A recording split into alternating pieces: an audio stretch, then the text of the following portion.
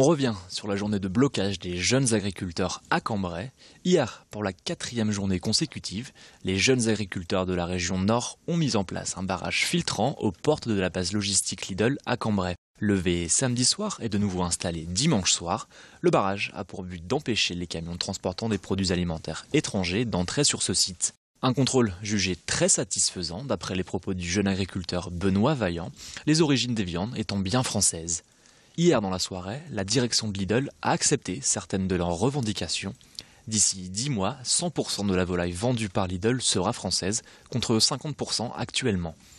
La viande de porc sera quant à elle d'origine 100% française dès aujourd'hui, excepté pour le filet mignon ou le steak de porc. Et le lait sera exclusivement acheté en France. C'est d'ailleurs pour cette raison que les jeunes agriculteurs ont veillé jusqu'au petit matin pour attendre la première livraison de lait 100% français. Pierre-Luc Ringeval, membre du bureau des jeunes agriculteurs de Cambrai, estime être plutôt satisfait par ces avancées. Il souhaite désormais que les autres bases logistiques Lidl de la région en fassent autant, et notamment celle de la chapelle d'Armentières. Rappelons que le site livre 60 à 80 magasins dans le secteur. Jeunesse et religion, le tout en peinture. Au cœur de Ralil, le centre de recueillement et de silence La Passerelle propose une exposition sur le thème de la religion. Chemin de croix œcuménique, c'est le nom de cette exposition. Dans la tradition catholique, le chemin de croix est un acte de dévotion commémorant la passion du Christ, autrement dit l'ensemble des souffrances qui ont précédé la mort de Jésus de Nazareth. De septembre 2014 à mars 2015, tous les mardis soirs, les enfants de la paroisse Sainte-Bert se sont réunis en compagnie de l'abbé Thierry Van de Mortel, l'artiste Joël Cunin et la spécialiste de l'art liturgique Anne Darocha Carnero.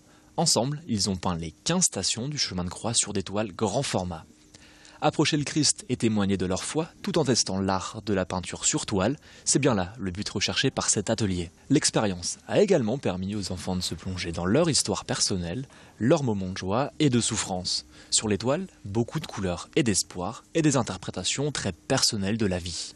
Les enfants ont parlé. Ils ont raconté aussi, ils ont dit pourquoi ils choisissaient telle ou telle station. Euh, et puis, tout en peignant, ils racontaient aussi. Ils se racontaient, ils disaient leurs propres souffrances, leurs propres difficultés, leurs joies, leur situation face à la mort aussi. Alors, souvent c'est un animal, mais quelquefois ça pouvait être une grand-mère. Et on sentait des grosses souffrances, parfois même de la révolte et de la colère. Hein. Alors, ça ne se ressent pas tellement dans les œuvres, parce que, voilà, c'est aussi refait par un regard d'enfant, et on n'a pas le même relation à la mort, sûrement quand on est enfant et quand on est adulte. Là, les enfants continuent à mettre de la couleur. Hein. La mort, c'est pas la fin chez les enfants, mais comme les chrétiens, mais ils l'expriment bien avec le choix des couleurs. On est encore dans la vie, hein, même si la mort est difficile et douloureuse. Si vous souhaitez découvrir ces toiles, elles sont actuellement exposées à La Passerelle, située au premier étage d'Oralil, tout l'été, du lundi au vendredi de 10h à 18h. Sécurité maintenant, avec ce contrôle routier déployé sur la départementale 549 et la départementale 938. Une quinzaine de gendarmes, une dizaine de motos ainsi qu'une voiture embarquée étaient mobilisés pour cette vaste opération de contrôle hier après-midi. En présence du secrétaire général de la préfecture de Lille, Gilles Barsac, les gendarmes du département du Nord ont mis en place une opération d'envergure à la sortie de l'A23, au niveau du rond-point sur le secteur d'Auchy-les-Orchies. Une demande du préfet de la région Nord-Pas-de-Calais, Jean-François Cordet, qui souhaite renforcer les contrôles durant la période estivale. Les motos contrôler les utilisateurs de téléphone au volant, tandis que les véhicules embarqués, autrement dit banalisés et équipés d'un radar, contrôlaient la vitesse. Éthylotest et dépistage de drogue étaient également au programme, tout comme la vérification des papiers des véhicules. Pendant le week-end du 15 août, près de 500 infractions ont été relevées par les policiers gendarmes de la région. 98 personnes ont été sanctionnées pour alcoolémie et 49 usagers ont été verbalisés suite à l'utilisation du téléphone portable.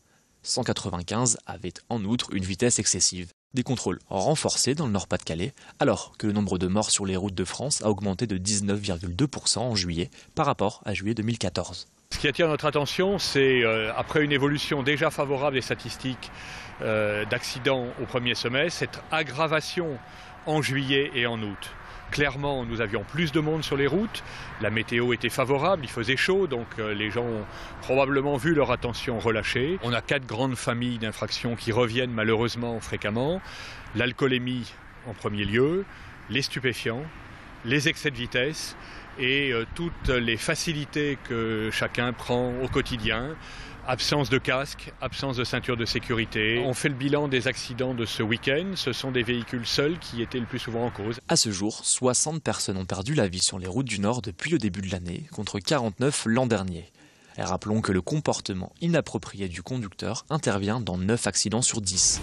C'est la fin de ce journal. Merci à toutes et à tous de nous avoir suivis. Dans un instant, la météo, suivi de la météo des plages. Bonne journée à tous sur Grand Lille TV.